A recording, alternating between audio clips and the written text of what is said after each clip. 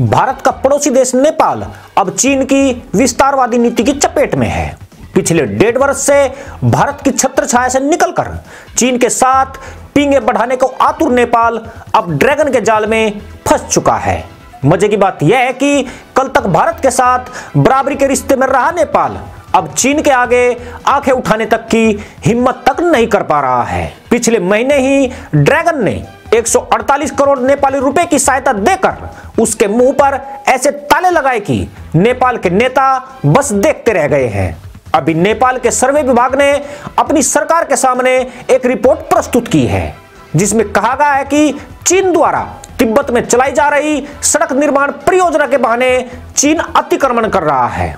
इस परियोजना में नेपाल अपनी कई हेक्टेयर ज़मीन गंवा चुका है। यानी चीन अपनी चालाकी से नेपाल की सीमा को धीरे धीरे बदल रहा है। सर्वे विभाग की रिपोर्ट के अनुसार चार जिलों, सनखुआसाभा, रसुआ, सिंधुपल चौक और हुमला की 36 हेक्टेयर ज़मीन चीन सीमा से लगती है। तिब्बत के पुरंग इलाके से सटे हुमला ज़िले की भागदार नदी की करीब 6 हेक्टेयर ज़मीन पर चीन ने अतिक्रमण कर लिया है। रसुआ ज़िले में सेजे नदी और जम्बू खोला की ज़मीन भी तिब्बत इलाके में चीन ने शामिल कर ली है। सिंधुपल चौक ज़िले के भोटकोसी व खरेन खोला की 10 हेक्टेयर से ज़्यादा ज़मीन और संथुआ साबा ज़िले की 9 हेक्टेयर ज़मीन पर चीन ने सड़क विस्तार के ज़रिए अतिक्रमण कर लिया है। गौरतलब है कि चीन पिछले कुछ समय से कई देशों में भारी निवेश कर रहा है। नेपाल में भी अपना प्रभुत्व बढ़ाने के लिए चीन ने यहाँ बड़ा भारी निवेश किया है, जिससे भारत की चिंता भी बढ़ी है। बीते 12 अक्टूबर को चीन के राष्ट्रपति शी जिनपिंग नेपाल की यात्रा पर आए थे। इस दौरान दोनों पक्ष में कई करार भी हुए थे। नेपाल के चीन की तरफ़ झुकाव के चलते भारत ने भी अब उसे गंभीरता से लेना कम कर दिया है। खास बात यह है कि नेपाल की स्थिति मालदीव जैसी होने जा रही है। जब चीन ने इस देश में भारी निवेश करके उसके संसाधनों पर कब्जा जमाना शुरू कर दिया था। लेकिन जब यहाँ चीन के प्रति विरोध बढ़ा और इब्राहिम मोहम्मद सोली नए राष्ट्रपति बने, तब जाकर स्थिति में कुछ सुधार आया। भारत ने चीन का कर चुकाने के लिए मालदीव को एक अरब तीस करोड़ डॉलर की मदद देकर इस देश को चीन के चंगुल से बचाया है। परंतु नेपाल में जिस प्रकार माओवाद का विस्तार हुआ और यहाँ भारत के खिलाफ माहौल बनाया गया, उससे नेपाल इस वक्त बिल्कुल अलग थलग पड़ता जा रहा है।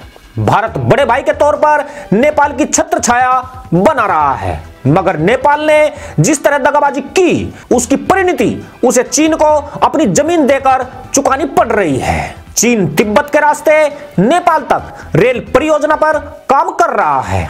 इस कनेक्टिविटी से नेपाल को कोई लाभ नहीं मिलने वाला है, बल्कि इसके माध्यम से चीन इस देश में अपने प्रोडक्ट भेजने की फिराक में है। चौंकाने वाली बात यह है कि चीन ने नेपाली स्कूलों में चीनी भाषा पढ़ाने वाले अध्यापकों को अपने दूतावास के माध्यम से वेतन और स्कॉलरशिप तक देने की योजना चला रखी है। और मामला यहाँ तक नहीं है। नेपाल ने अपने डिप्लोमेट चैनल के द्वारा अपनी ज़मीन पर अतिक्रमण के तौर पर मौखिक आपत्ति ही दर्ज की, जिसे चीन ने सिरे से खारिज कर दिया है।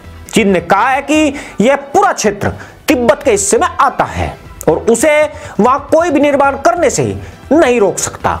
बड़ी बात यह है कि चीन ने चाल चलते हुए अपनी सीमा को नेपाली जिलों के 500 मीटर और भीतर बताना शुरू कर दिया है।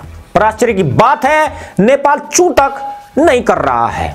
वैसे भी उसके ऊपर चीन का भारी कर्ज बढ़ता जा रहा है।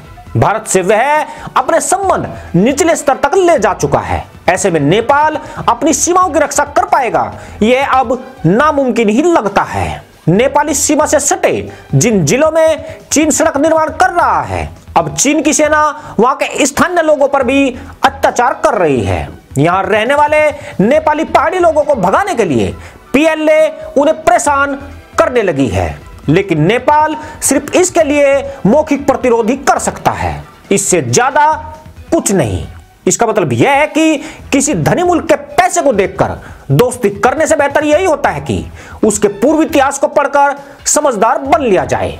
पर नेपाल तो यह सीख भी खो चुका है। इसलिए उसे अपनी ज़मीन चीन को सौंपकर दोस्ती दिखानी पड़ रही है। आशा है दोस्तों वीडियो पसंद आया होगा, आपसे शीघ्र भेंट होगी। तब तक के लिए अनुमति दीजिए। जय जवान, जय किसान, जय हिंद बंद मातरम।